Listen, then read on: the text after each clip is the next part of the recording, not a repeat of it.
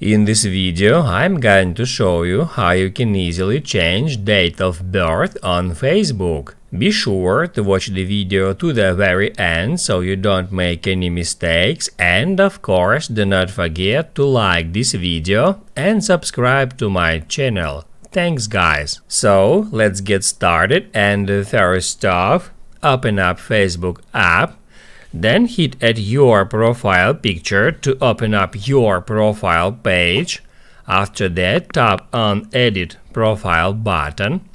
Then scroll down to the very bottom and tap on Edit Your About info.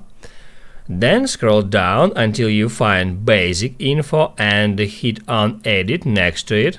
And then you will be taken to this page where you can easily change your birthday birth month and birth year. If you change your birth year, it says I confirm that I am, uh, in my case, 37 years old, and you can only edit your birthday a limited number of times.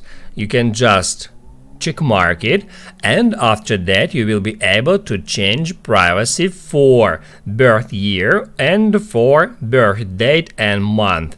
You can tap at uh, that button to set privacy for birth year. You can set it to public, friends of friends, friends, or if you want to hide it, you can set it to only me. The same about date and month. Tap at that icon and uh, select privacy level for your birthday and month. Once you've done with that, scroll down and hit add save. That's how it's done. Now you can write down in the comments below if you have any questions about that tutorial, hit the like button if you like that video and see you in the next one.